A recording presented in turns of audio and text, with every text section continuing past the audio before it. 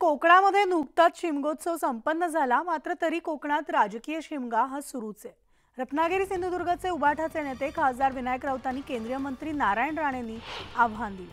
नारायण राणेंनी आपल्या सत्तर हजार कोटींच्या बजेट असलेल्या खात्यातून काय दिवे लावलेत ते आधी जाहीर करावं त्यानंतर माझ्या कामाचा लेखाजोखा पाहावा असं विनायक राऊत यांनी म्हटलंय. तर मी केलेलं काम पाहून तुमचे डोळे विस्फारून जातील असंही राऊतांनी म्हटलंय.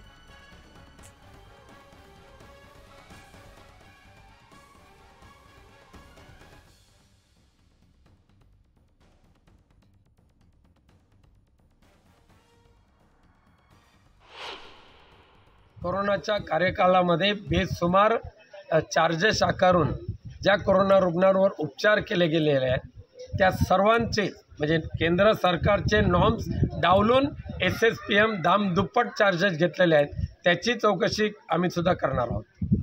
साहेब आता भाजपचे नेते करतायत काय सांगाल या संदर्भात? त्या नेत्यांना मला विचारायचं सांगायचं आहे तुमचे जे आता उमेदवार येतील ते केंद्रामध्ये कॅ कॅबिनेट मिनिस्टर होते किमान सत्तर हजार कोटीचं बजेट त्यांच्याकडे होतं.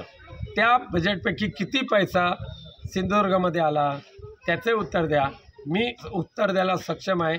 माझ्या संसद आणि मतदारसंघात केलेल्या कामाचा लेखाजोगा जर त्यांनी वाचला तर त्यांना कळून चुकेल विनायक रोध म्हणजे काय? सिंधुदुर्ग रत्नागिरी लोकसभा मतदारसंघामध्ये महायुतीचा उमेदवार असेल त्याला दोन लाखांपेक्षा जास्त मताधिक्यानं विजयी करण्याचा निर्धार रवींद्र चव्हाणांनी व्यक्त केलाय. येत्या दोन दिवसांमध्ये कोकणातील उमेदवार जाहीर होणार असल्याचं सुद्धा त्यांनी सांगितलंय.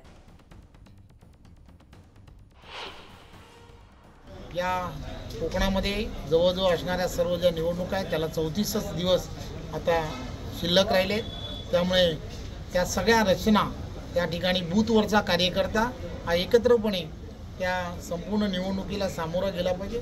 त्या दृष्टिकोनातून आज सगळ्या ठिकाणी चर्चा झाली. उमेदवार केव्हा घोषित होईल? लवकरच आपले नेते जे आहेत हे नेते या संदर्भातला योग्य तो निर्णय घेतील. तो महायुतीचा जो कोणी उमेदवार असेल उमेदवार हा विक्रमी मताने जिंकून आला पाहिजे. असा निश्चय आज महायुतीच्या या कार्यकर्त्यांच्या असणाऱ्या सर्व पदाधिकाऱ्यांनी आणि कार्यकर्त्यांनी केला आहे तर नागपूरच्या